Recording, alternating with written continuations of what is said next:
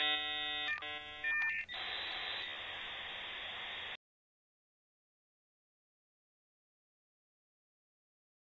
What is up everybody, it is your boy Matt Turner back again with another video. Here on my channel I like to talk about fitness, uh, do product reviews, and document my transition as a black trans man. If any of those things interest you, I highly encourage you guys to subscribe and hit the bell notification button so you guys can stay up to date on when I post videos. But without further ado, let's get right into this. Now as you can tell by the title of this video, I will actually be discussing um, some guidelines and tips and tricks that you can use for um, getting back into working out after um, top surgery. I did in the past post a video going over how I was working out after top surgery. However, it's not very um, informational, I will say. It's more of just kind of like talking about what I'm doing, whereas this video will be going over um, base by base kind of how you can apply um, what I did to your own situations um, and kind of guide you into, you know, getting back into full on training right after top surgery. There are some th quick things that I do want to go over before I get um, super in depth. Um, do remember that you are coming back from a surgery. Make sure you are taking things slow. Make sure you are doing things at a comfortable space, at a comfortable pace. Um, you do not want to add any unnecessary injury to yourself because coming back from a surgery and pushing yourself too hard too soon will in fact indeed lead to you possibly delaying any progress or actually just injuring yourself further. Secondly, even if you think that you can push another part of your body, such as your legs, I know a lot of trans guys after top surgery like to talk about, you know, going hard on their legs since the surgery happened only up top. Do realize that working out hard in one another area outside of your surgery site can in fact impact your surgery incisions. This can be due to a lot of different variety of reasons, such as just an increase in blood flow, which is one of the main things that top surgery actually is concerned about. You do not want to increase your heart rate too much after top surgery. That is a big no-no. That is one of the big reasons why they actually don't want you to be working out right after surgery. So just do know that going super hard on other parts of your body, even if it is not the area that had the surgery, can impact that surgery site. And lastly, um, even though I am giving the guidelines for all of this, um, top surgery is a little bit different from coming back from a actual muscle injury. Um, top surgery is more plastic surgery. It does not actually have anything to do with, you know, like fixing your chest muscles or anything of that nature. It is simply just removing tissue um, without actually, you know, messing and impacting the actual muscle unit. So your muscles will, for the most part, feel like they can work completely like normal. Um, so this recovery stage, this kind of getting back into um, working out like normal may move very, very fast. But again, make sure that you are being very, very aware that you should take things very slow. You should do things at a comfortable space. And even when you feel like you should move on to the next stage, that you are kind of, you know, being very cautious and um, conservative with how you are lifting and in the weights that you are lifting. Now, with all those gone, um, let's get right into this video now. I've set this up into three different stages. It is going to be um, pre-clearance for any kind of exercise and then it will move into um, post clearance so after you get you know kind of like the 15 pound rule and then finally it will move into um, working out post clearance for that six weeks or whenever they give you kind of the 25 pound dumbbell rule. Um, 25 pound rule not dumbbells. So first up pre weightlifting Uh, clearance. This is usually around the time, like two weeks after surgery, where maybe you have already gotten your drains out and they have cleared you for kind of like walking and stuff, but you still can't lift heavy. You shouldn't really be working out. During this time, my biggest advice is going to be focusing on nutrition and just light cardio. Light cardio will help boost some of your recovery because exercise is somewhat correlated with um, having recovery and then focusing on nutrition, dialing in your nutrition. So making sure your calories are right, uh, making sure your nutrition is on point is going to be very, very helpful. Um, making sure that you are getting in enough calories in order to actually fuel your recovery is going to be very, very important. So just making sure that you have your nutrition down um, is going to benefit you in the long term, especially since you will be more on point once you finally get back into your um, full-on training again. Um, with that being said, do not make a ton of changes to your diet. Um, during this recovery period if you were eating a certain way like you were maybe eating a little bit more junk food maybe you like your diet wasn't very very clean before your surgery do not make a ton of changes after your surgery during recovery just because you can actually stress your body out with too many changes and that's the last thing that you want during your surgery so maybe day by day eat like a little bit healthier maybe eat like junk food just a little bit less, maybe add in a little bit more leafy greens, maybe more salads. Um, doing just small things will be very, very beneficial in the long term and making sure that you're not stressing your body out any more than necessary during your recovery period. Moving on from that once you have finally gotten clearance for you know lifting um, the 15 pounds for me it was 15 pounds for your surgeon. It might be something completely different. Once you have gotten this clearance you can um, finally get back into the gym. If one thing I've forgotten to mention for the last one, if for cardio you just really, really want to get in the gym, definitely feel free to go to the gym and walk on the treadmill. Um, that is definitely okay. That's what I did. Just make sure that you are taking it easy. Now, with that post clearance for the 15 pounds, uh, of being able to lift 15 pounds, uh, make sure that what you are doing is low weight but high reps. You want to really make sure that you are focusing on the full range of motion and getting back your full range of motion after surgery. You don't need to use a lot of weight with this.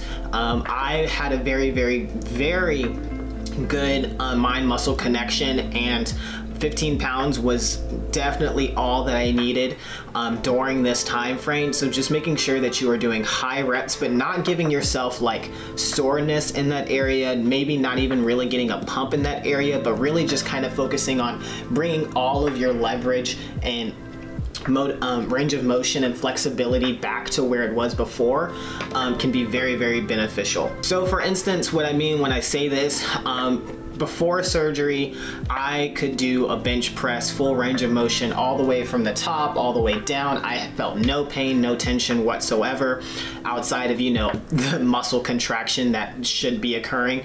Um, however, post surgery, when I first attempted the bench press, it I had the full range of motion, like I could go from the bottom to the top. However, it felt very unstable. Um, it felt kind of like a little bit tight in the chest. And so what I did instead was I switched to using cable towers. Um, and just allowing myself to, you know, kind of get as much height as I could. Um, and stretch as I felt I was comfortable with with the actual kind of cables. Um, but really this just allowed me to be as high or low as I really felt like I was comfortable with with my chest. Um, I generally started out first with um, the lowest setting and kind of working on my chest um, coming up and really doing inclines and then I, um, but slowly but steadily to higher and higher ranges of motion until I felt comfortable actually grabbing all the way from the top and bringing that cable all the way down.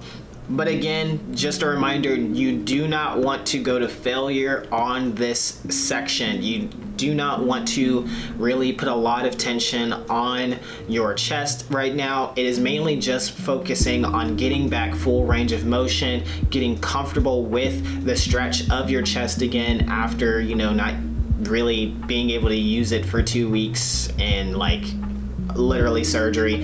Um, so just don't don't feel the need to push yourself too hard. Just really focus on mind muscle connection. That will benefit you in the long term because once you get back to full training, again, you'll really really be able to feel your your muscles like I can feel my muscles really really well now just working with the cable towers allowed me to really build my mind muscle connection, which has helped a ton in my current training. Moving on, once you are six weeks post-op or you have been given clearance for that 25 pound limit, um, that is what I got from uh, my doctor.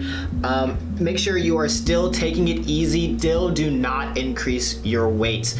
Um, you can increase them a little bit, but you don't want to go all out just yet still. Your body is still recovering at six weeks, as you can tell, even with things like lat pull downs, you will feel a lot of tension on your incision site, so you still do want to take it easy during this period. In fact, I would actually highly suggest that increasing the weights and just focusing on pause reps, really kind of stimulating the muscle, but like not with super heavy weights and going all out, but really just, you know, concentrating on building the strength back up for your muscles during the section is going to be the best.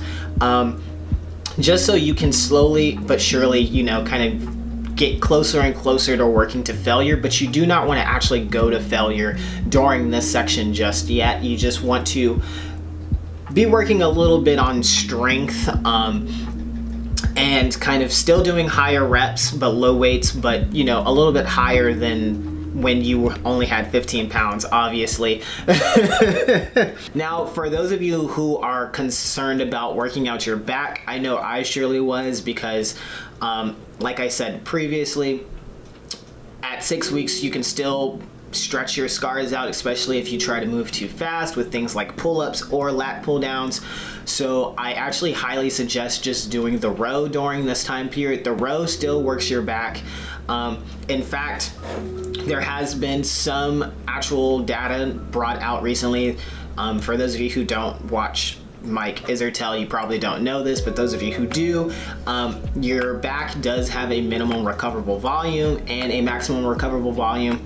And switching off from your back to, in certain um, movements and kind of like contractions can actually help to stimulate growth in those areas. So taking a break from lat pull downs and pull pull-ups is not that bad. It actually could be um, really beneficial for your back if you before surgery were doing a ton of lat pull downs and pull-ups like I was, getting to really focus on the row and your horizontal fibers will be very very beneficial. Um, still don't take it you know extremely heavy while you are doing rows. You still want to you know make sure that you are taking it easy that you're not pushing yourself too hard but that you are still focusing on activation and mind muscle connection from here, just slowly, continuously add on weight as you feel comfortable. Um, when you also feel comfortable, add in pull-ups. I would actually highly suggest starting with the assisted pull-up machine and using lighter weights just so you aren't putting a ton of your body weight on your incision sites right off the back.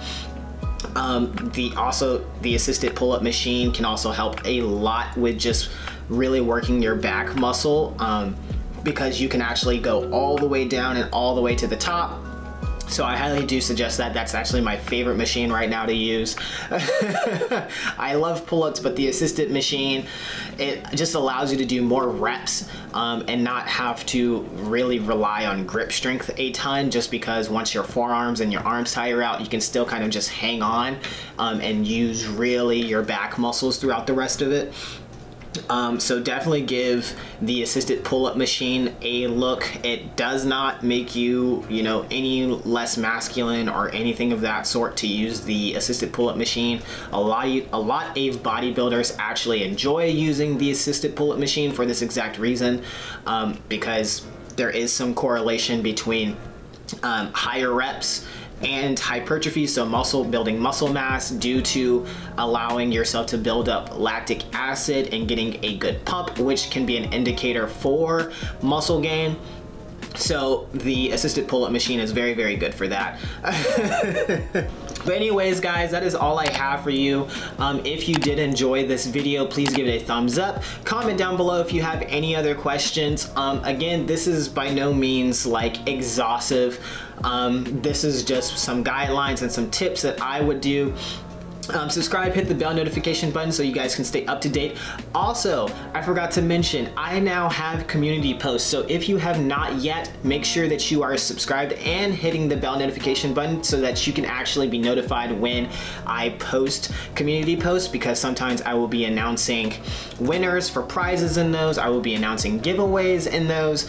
Uh, but also, it's another way to kind of get to know me a little bit more. I'll be asking like fun questions also, if you have not yet, um, follow me on IG at Morgan7551 if you are interested in inspirational fitness stuff, seeing how my bulking journey is going. If not, you can also check out my fitness website if you are a beginner. I post a ton of blog stuff there going over how to really optimize your training, how to optimize your nutrition. Check those things out um, if you are interested. But without further ado, guys, it is your boy Matt Turner. I hope you guys have a great morning, evening, day, or night, wherever you are, and I will see you guys later.